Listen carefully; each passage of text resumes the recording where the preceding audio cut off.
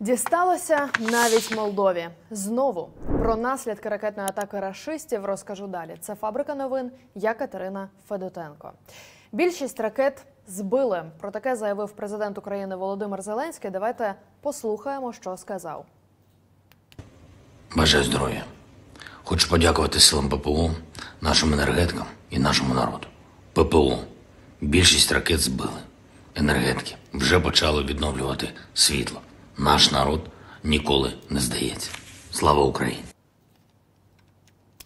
Між тим, нерозірвану ракету виявили на півночі Молдови біля кордону з Україною. Про таке повідомляє МВС країни. Цитую далі: нещодавно недалеко від міста Бричани у саду було виявлено ракету. Вибухонебезпечний предмет виявив патруль прикордонної поліції. Кінець цитати. За даними змі на фото, розгінний блок ЗРК С-300.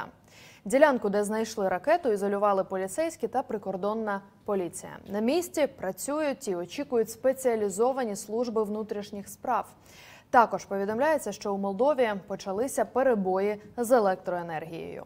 У вітчизняному МЗС вже відреагували на падіння ракети в Молдові. Речник міністерства Олег Ніколенко зазначив, інцидент вкотре доводить, що російський терор несе небезпеку не тільки для України, а й для інших країн.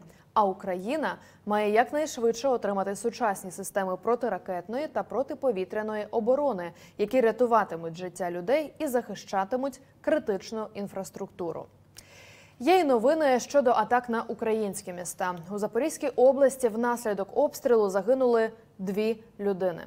Поранені троє, і серед них малюк віком один рік і 10 місяців. Росіяни це терористи, які не мають нічого спільного з цивілізацією та людськими цінностями. Написав заступник керівника офісу президента України Кирило Тимошенко. Між тим, на Одещині внаслідок російської атаки пошкоджено два інфраструктурні об'єкти. Одну людину ушпиталили, а рятувальники ДСНС працюють на місці прильоту.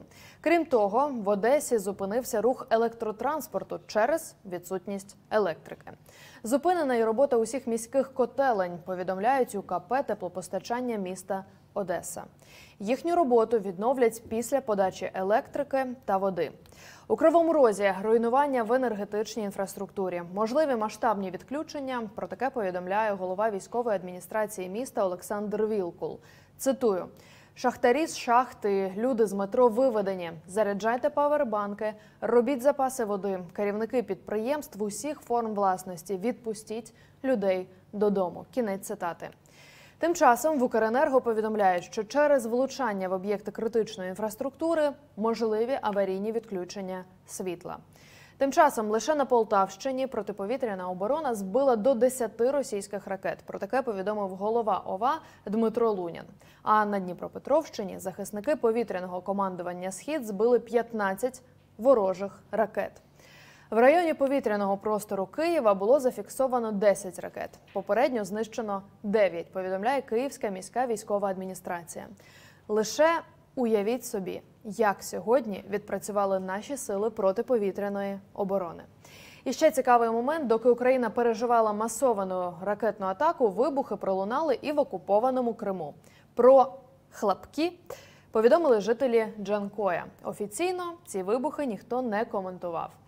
Крім того, в українській розвідці повідомляють, що Росія більше не може собі дозволити часті масовані ракетні атаки. Про це заявив представник ГУР Міноборони Андрій Юсов. За його словами, запаси високоточного ракетного озброєння в окупантів впали до критичного низького рівня. Далі цитата. Стосовно калібрів та іскандерів, то їхні запаси набагато нижчі і критично нижчі. І в цілому такої масованої тактики регулярної вони вже не можуть собі дозволити.